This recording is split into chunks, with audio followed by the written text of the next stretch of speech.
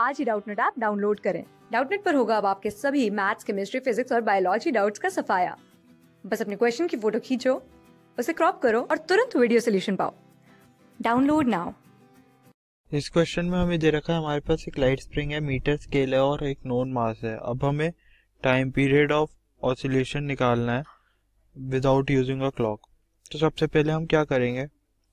हम देखते हैं टाइम पीरियड क्या होता है। वो होता है two pi root M by K यहाँ हमें टू पाई मालूम है एम मालूम है। हमें बेसिकली निकालना क्या है? के स्प्रिंग कांस्टेंट तो वो हम कैसे निकालेंगे? हम स्प्रिंग को सीलिंग से सस्पेंड करेंगे और उसके एक एंड पे मास एम निकाल देंगे लगा देंगे, ठीक है?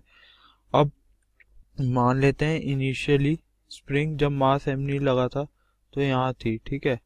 अब स्प्रिंग का दूसरा एंड यहाँ आ गया तो एक्सटेंशन ये मान लेते हैं, ये के एल हुआ।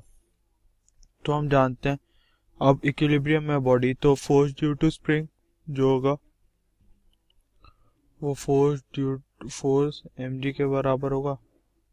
ठीक है? तो M G equals to K L L हम नाप लेंगे हमारे पास क्योंकि एक मीटर स्केल है तो हमारा के आ जाएगा एम जी बाय एल ठीक है? के हमारा आ गया तो हम टाइम पीरियड के फॉर्मूले में के डाल के टाइम पीरियड निकल जाएगा हमारा।